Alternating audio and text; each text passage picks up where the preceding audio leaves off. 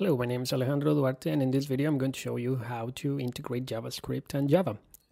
And for that we're going to use Vaadin. So please go to vaadin.com and click this button if you want to follow the tutorial, create an app, then select project base, which is um, a very simple uh, project that you can use to, to get started.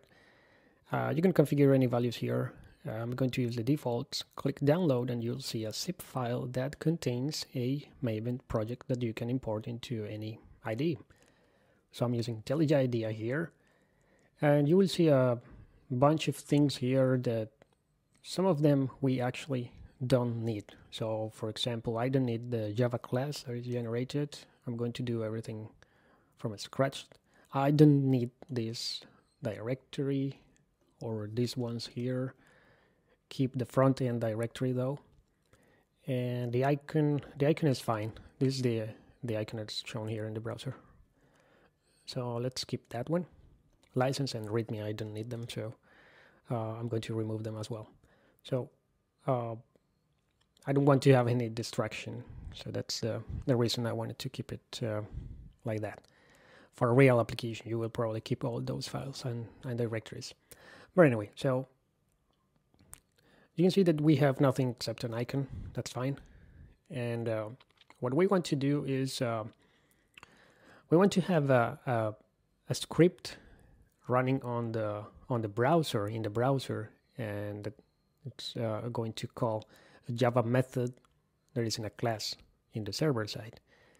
But also the other way around, we want to uh, call JavaScript from the from the server side uh, Java code. So we're going to start uh, with that first, okay? But let's create the, a very simple uh, JavaScript file, script.js, inside this, uh, this directory, right? Inside front end, web app front end. And for this, I'm going to create a very simple function. Uh, it's not it's not going to do much. Let's just uh, receive a name here. Let's call this uh, greet first let's receive a name and let's uh, just log that in the console okay? Hey and uh, let's use actually string uh, um, interpolation. So hey and the name. Exclamation mark also. That's it. A very simple uh, javascript function remember it should be inside this uh, directory. Now let's create the, the, uh, the Java class, yeah, that is going to run on the server. So let's call this main view. Make sure you use that that name for the class because uh, uh, it's going to be important when when mapping the, the routes to access, access this access this um, this component. And then we need to set a route for it we could manually specify it. For example, if I said if I said something like greeting, then this would be mapped to HTTP well, localhost 8080 if uh, and and greeting, right? If we want this, then we can specify an empty string. And moreover, because we are using this name here, main view, this is automatically going to be mapped to this, all right? So let's keep it like that. Also, we need to extend some kind of a UI component. So I'm going to extend a very simple one, a simple div. If you go inside this class, you'll see that this is uh, render. This is rendered as a as a div tag in the browser. So the main view is a div, right? And it's going to be rendered when I uh, request this URL.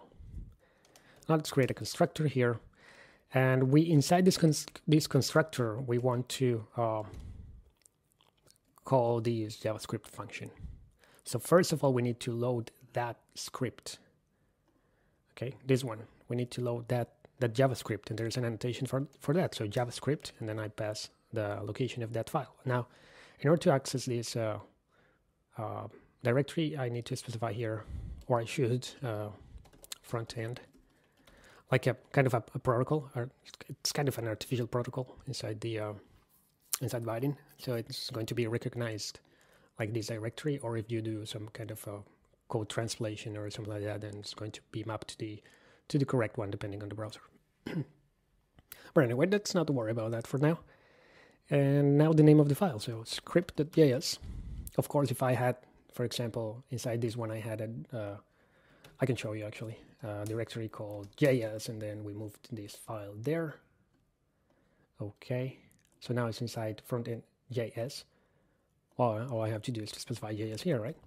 That's it.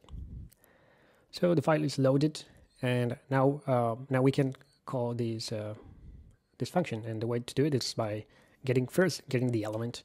This kind of more this closer to the uh, client side. So from here you'll see uh, kind of low level stuff, right?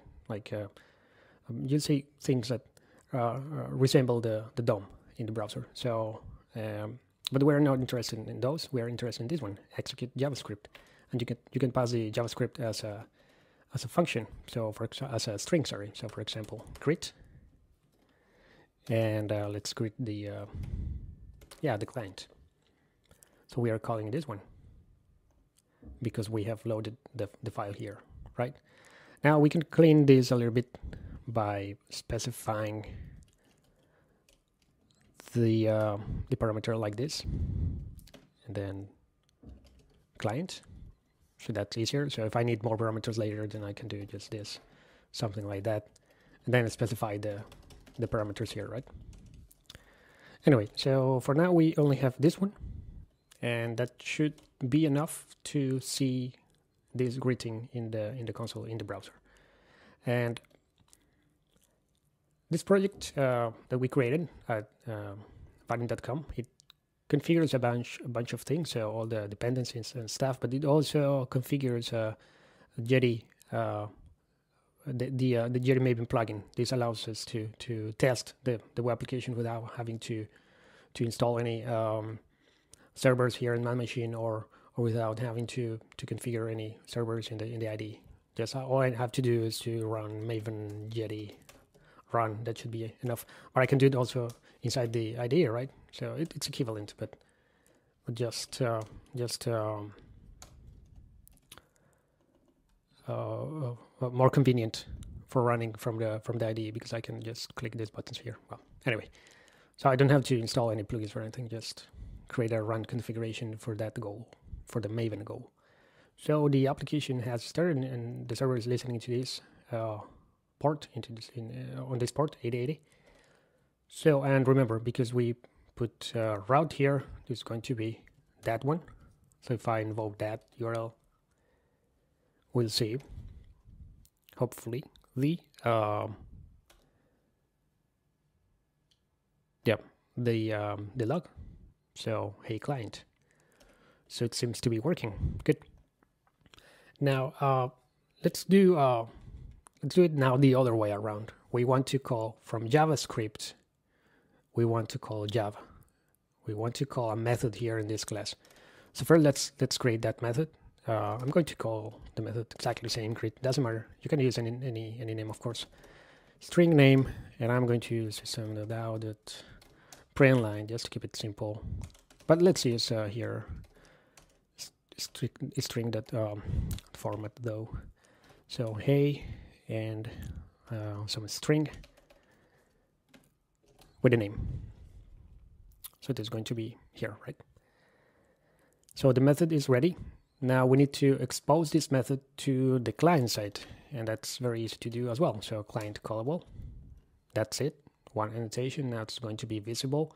If we have kind of uh, uh, an object that represents this main view, and it happens to be the element all right? So we can pass it to to this function here as, a, as another uh, parameter there. So so again I can create a new parameter here and pass the value. It is uh, get element.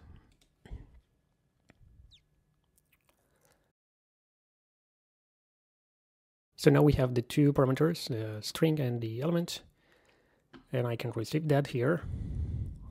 So that was the element. And the cool thing is that the, this uh, element has this uh, uh, server object here that contains uh, kind of the, the methods, or we can use to, to call the method. So uh, we're going to call this greet. And now we can pass some some name. This is the server, so let's greet the server.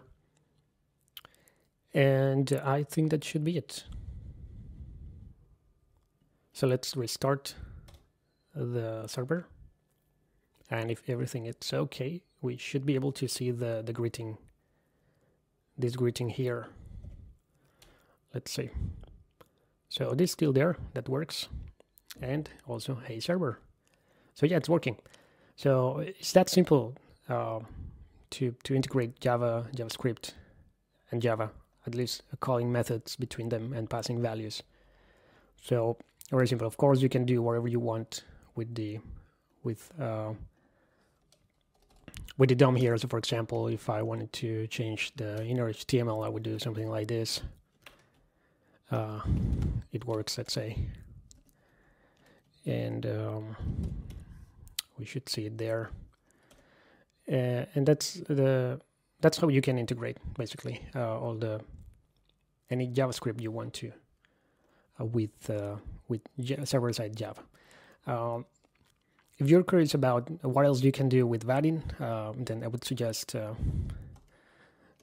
you should go to vaadin.com and you'll find tutorials here. If you want to see how, for example, how to create a uh, web application using only Java, so you don't have to use any JavaScript and you will get uh, uh, an application well there's no sc screenshot there. But anyway I can actually show you. So for example you can you can add so let's forget about this for a moment.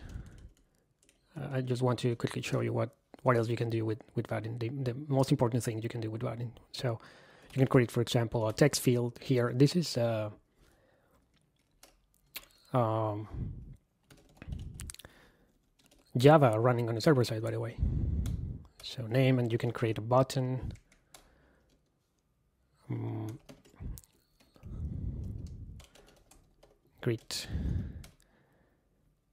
and then we can add this to this div by calling add add name and greet.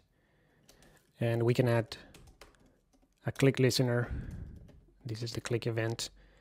And we can for example show a a notification or we can add another component to the web page for example new text there.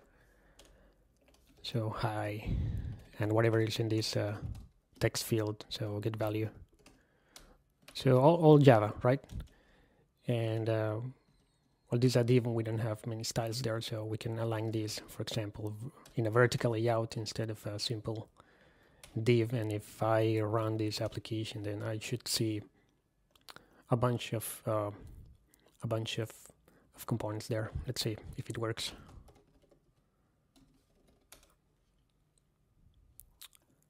So yeah, it seems to be working. Text is being added to the web page. So that's what that's uh, what what you can do with with with Viewer Query. So uh, yes, um, go to uh, uh, vaadin.com. You will find a lot of uh, learning resources there. Um, I think that's uh, what I want to show you in this video. I hope you liked it and I'll see you in the next video.